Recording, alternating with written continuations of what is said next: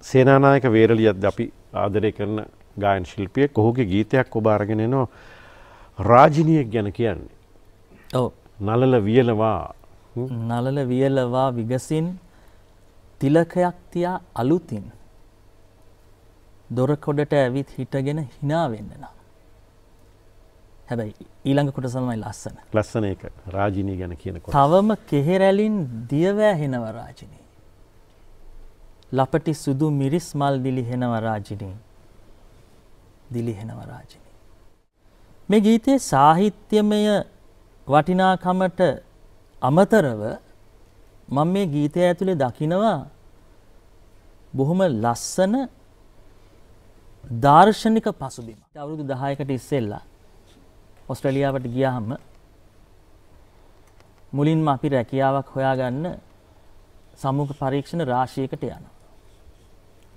ඒ හැම සම්මුඛ පරීක්ෂණයකටම ගිහාම අපෙන් අහනවා ඔබ කොයි රටින්ද? මං උත්තර දෙනවා මං ශ්‍රී ලංකාවේ. ඒ හැම සම්මුඛ පරීක්ෂණයකදීම ඒ මගේ පිළිතුරට මගෙන් මට මගෙන් අහපු ප්‍රශ්නය ඊළඟ ප්‍රශ්නය තමයි ආයු ටැමිල් මං කියනවා. No I'm not Tamil. I'm Sinhalese. කවුද සිංහල කියන්නේ? ඊළඟට ඔවුන් මගින් අහන ප්‍රශ්නය. සිංහලස් ඉතින් මං ඔවුන්ට විස්තර කරනවා සිංහල කියන්නේ දෙමළ වගේම ආර්ය භාෂාවලින් පැවතෙන භාෂාවක්. එතකොට අපේ සමුහ පරීක්ෂණය වෙන පැත්තකට යන. ඊළඟට මගේ නම වාසකම ගුණවර්ධන නිසා ඔවුන්ට ජයවර්ධන හුරුයි. ඔවු ඊළඟට මගින් අහන ප්‍රශ්නය තමයි play cricket? ඇයි ඔවුන්ට ජයවර්ධන? ජයසූරිය රණතුංග හුරුයි. ඔන්න ලංකාව ගැන දන්න අපි ගැන ලෝකෙ දන්න දෙවනි අවස්ථාව. පළවෙනි අවස්ථාව දෙමළ භාෂාව සහ දෙමළ මිනිසුන්. දෙවන අවස්ථාව ක්‍රිකට්.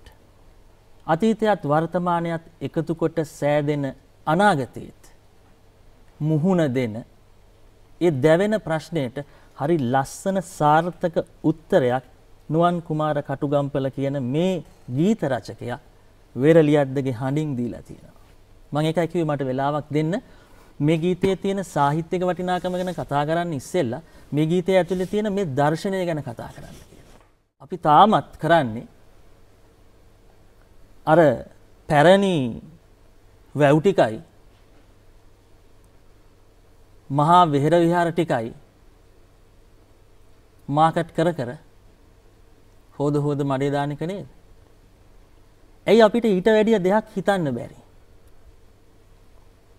මේ ගීතය ඇතුලේ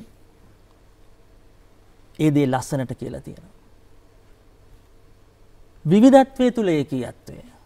හරි ලස්සන සංකල්පයක්.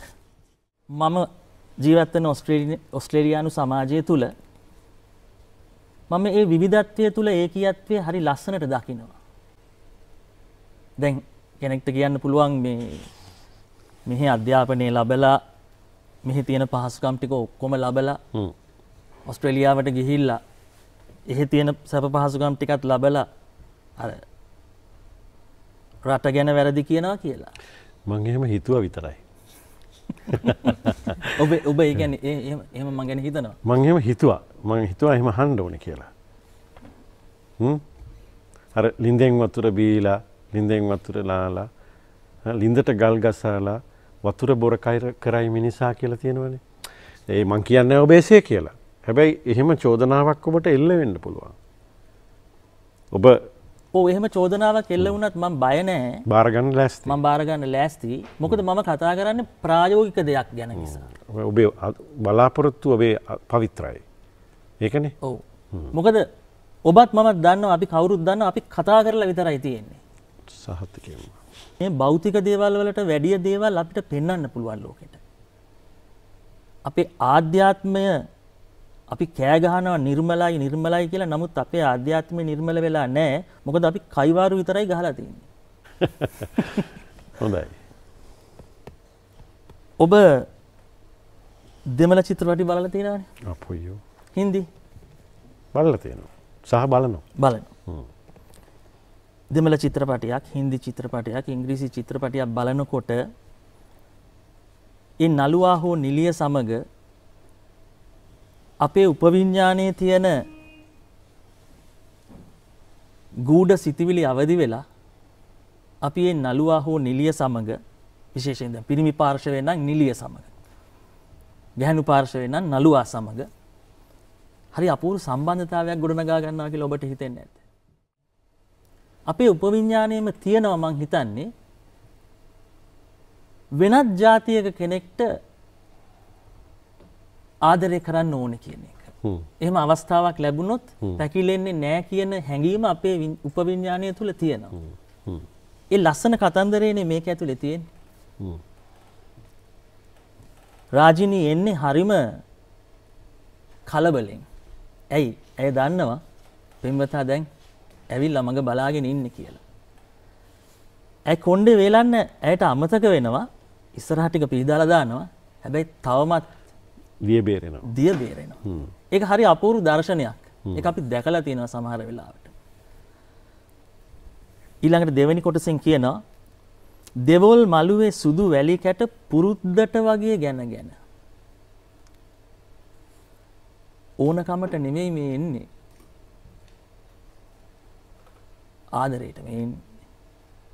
පුරුද්දට වගේ ගැන ගැන කියන අර හරියට අර කොළ කඩ කඩ බොරුවට දෙනවා වගේ කතාවක් නෙමෙයි කියන්නේ.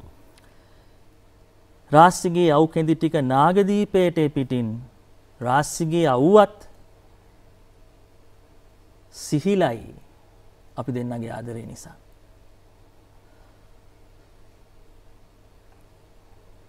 කතා කරන ඇස්වහගෙන අගය පෙන්වනා විටදිත් කාන්තාවන් හරි කැමතින අගේ පෙන්වන්න. ඔයා කොච්චර ආඩම්බරෙන් හිටියත් මගේ හිතේ ඔයා තරම් සොඳුරු කවියක් තවත් නෑ. එනම් අපි අහමු රාජනීගේ ලස්සන කතා.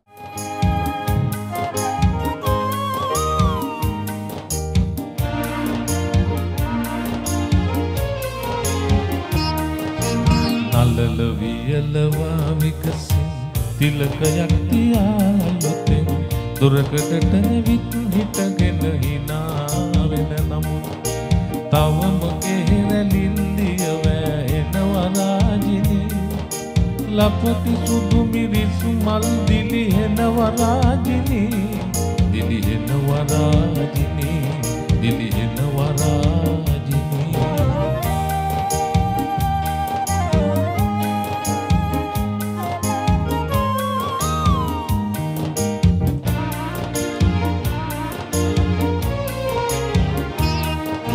දෙවුල් මල්ලුවෙ සුදු වැලි කැට පුරුද්දට වගේ ගැන ගැන සීනු හඬට කන්නෙන විට පිරුණු හිතමුවින් උතුරන අපූරුව මැදින් රාසිගේ අවු කෙඳි ටික නාගදීපයට ගෙපිටින් මුහුද ගිලෙන විට සිහිලයි නොවෙද රාජිනී? නොවෙද රාජිනී? නොවෙද රාජිනී?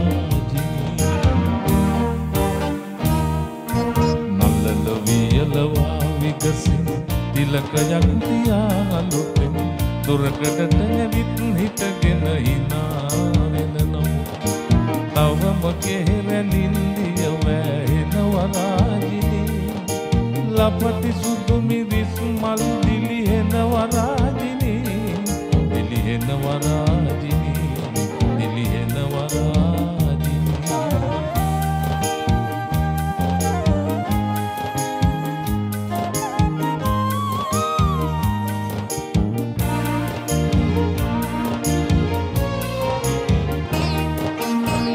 මග වසන වලාතිරපට ඉරාගෙන උජාරුවකින් බක්මහේ නැවුම් සඳවත පෙරබරින් නැගීන හැටවියක යනසේ කතා කරන ඇස්වාගෙන අගය පෙන්වනා විටදිත් නුඹතරම් සොඳුරු කවියක් නැහැනෙ රාජිනී නැහැනෙ රාජිනී.